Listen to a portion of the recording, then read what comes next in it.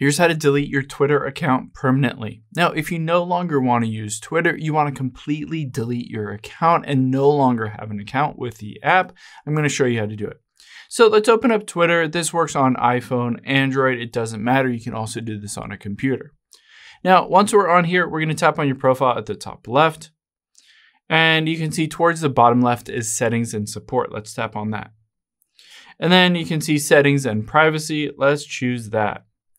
Now, once we're in here, what we're gonna do is choose your account at the very top. And then towards the bottom, there is a trick to this, deactivate your account. So let's tap on this. So the interesting thing is that Twitter has removed the button to delete your account. They only have the option to deactivate your account. And if you do want to permanently delete it, it says on there you can restore your account up to 30 days after deactivation.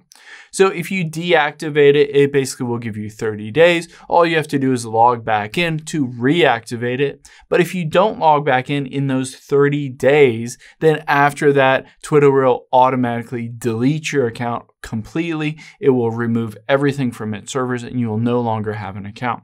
So I guess the step is just deactivate your account. You have to tap in, enter in your password, and then hit yes, deactivate.